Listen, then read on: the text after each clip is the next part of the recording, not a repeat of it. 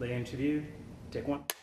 I would just like people that are in charge to treat the women on these shows with more dignity because they deserve it.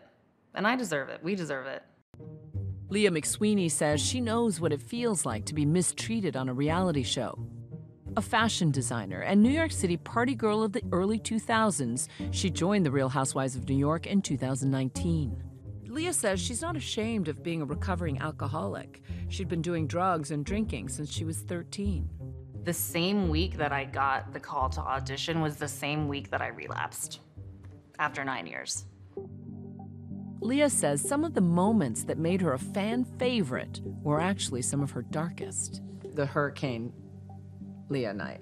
Oh, yeah. What was that night like for you when you think back to that, when you watch that? Horrible. it was horrible. I need two shots in that because it's time.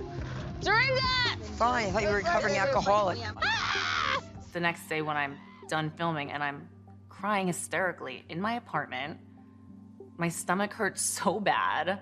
I don't know what I did. I don't remember what I did. I don't know what I said. What you're describing, though, is the definition of blackout drunk.